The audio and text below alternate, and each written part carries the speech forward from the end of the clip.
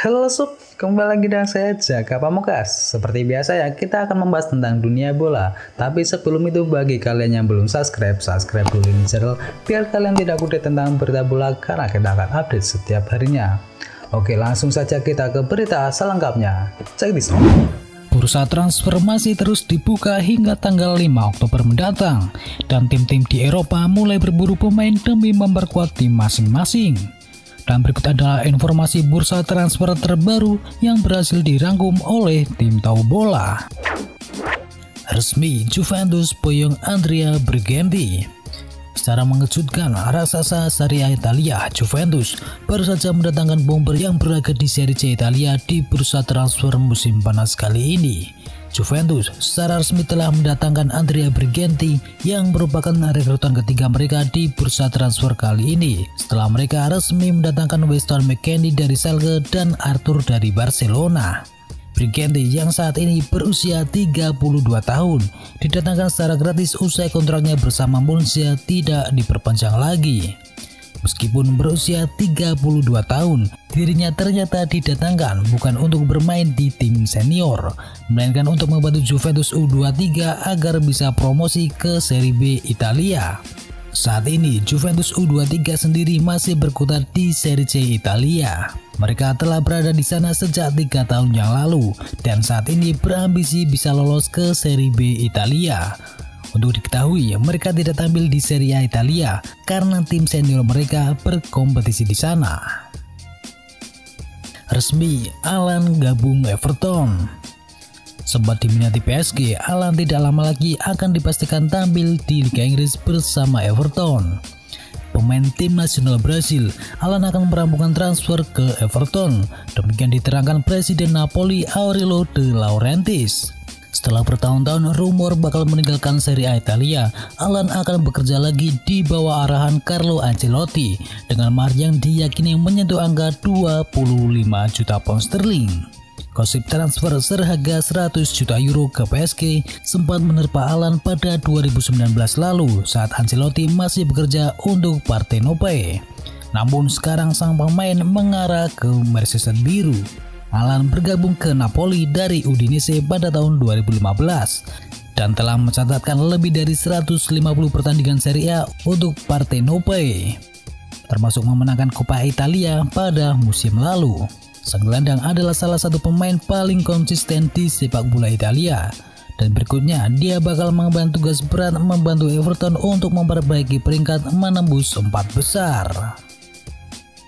Kai Havertz rampungkan tes medis di Chelsea. Kai Havertz tinggal menunggu waktu untuk diresmikan sebagai pemain baru Chelsea setelah bintang muda Bayer Leverkusen itu merampungkan tes medis. Kai Havertz santer dikabarkan akan segera merapat ke klub tenar Liga Inggris yaitu Chelsea pada bursa transfer musim panas kali ini. Hal ini dipastikan setelah The Blues menyanggupi mahar senilai 90 juta pound sterling atau sekitar 1,74 triliun rupiah demi memboyongnya dari Bayer Leverkusen. Havertz sebelumnya juga sudah melewatkan sesi latihan pramusim bersama Bayer Leverkusen. Dengan pelatih klub Bundesliga, Peter Bosz mengkonfirmasi bahwa Havertz sudah bukan lagi anggota skuadnya. Seperti diketahui, pemeriksaan medis menjadi syarat terakhir sebelum seorang pindah ke klub lain. Jadi bisa dipastikan Chelsea akan segera meresmikan Kai Havertz sebagai rekrutan ketujuh musim depan. Sebelum Kai Havertz, pelatih Chelsea Frank Lampard sudah merekrut Timo Werner, Hakim Ziyech, Ben Chilwell, Thiago Silva, Malangsar, dan Xavier Buyamba. Selain mahar hampir 2 triliun tersebut, Chelsea juga bakal menggajar sang pemain dengan kontrak sampai 5 tahun beserta upah mingguan sebesar 300 ribu pound sterling atau sekitar 5,8 miliar rupiah per pekan. Havertz sendiri telah membela Bayer Leverkusen sejak 2016 lalu. Bersama klub sepak bola Bundesliga Jerman tersebut, ia sukses mencetakkan 46 gol dan menyumbangkan 30 assist dari total 150 pertandingan di semua kompetisi. Liverpool bidik back potensial milik Celtic.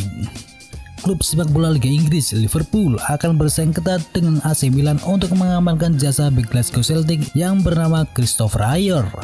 Pemain berusia 22 tahun ini diproyeksikan untuk menambal kekurangan pemain The Reds di lini belakang. Pasalnya, Liverpool sudah kehilangan Dejan Lovren yang memutuskan merapat ke Zenit. Selain itu, Liverpool juga dirumorkan dengan beberapa pemain lainnya seperti Diego Carlos, Aisa Mandi, dan Kalido Koulibaly. Namun belum ada satupun nama back tengah yang merapat. Kini Jurgen Klopp telah meminta petinggi klub untuk mengejar satu pemain incarannya tersebut. Back berusia 22 tahun ini menarik perhatian Klopp karena punya postur tinggi dan suka membawa bola keluar dari belakang. Bahkan Ayer juga disebut sebagai the next Virgil van Dijk. Selain itu, Ayer adalah pemain serba bisa. Tak hanya bisa bermain sebagai bek tengah, Ayer juga bisa diturunkan sebagai bek kanan.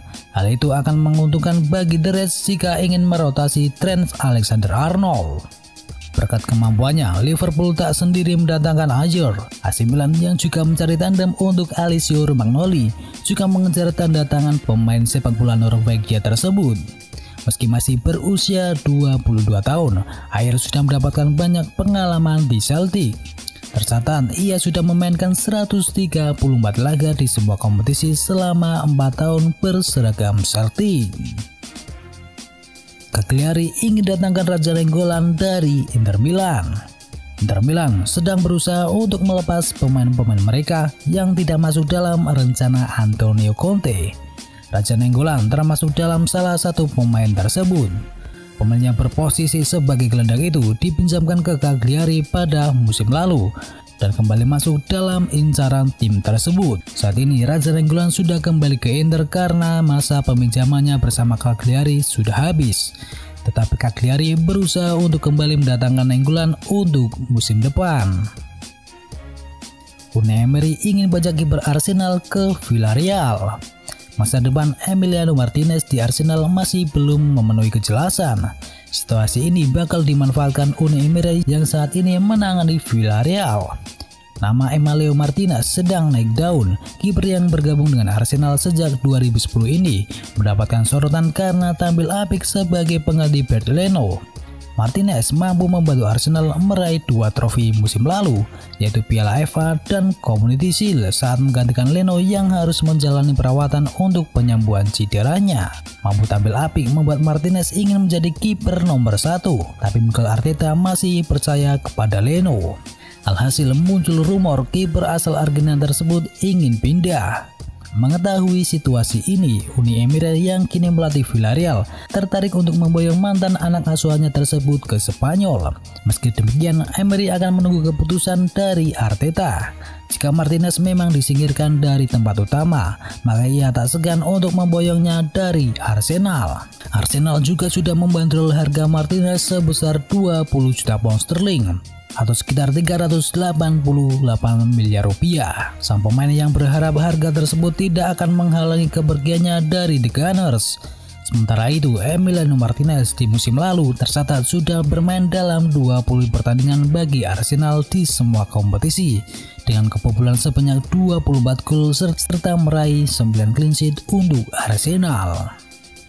Lionel Messi pertimbangkan bertahan di Barcelona semusim lagi.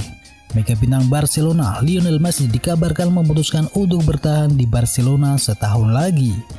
Menurut Jorge Messi, usai pertemuan yang berlangsung dengan Jose Maria Bartomeu, negosiasi antara Jorge dan Bartomeu berlangsung tanpa menghasilkan kesepakatan. Pihak klub lewat Bartomeu kekeh menyatakan tidak ada kesempatan untuk Lionel Messi meninggalkan Barcelona secara gratis dan pihak Messi dikabarkan melunak dan Messi mempertimbangkan untuk bertahan di Barcelona semusim lagi hingga tahun 2021. Messi memilih bertahan semusim lagi karena ia ingin mengucapkan perpisahan dengan fans terlebih dahulu sebelum kontraknya habis.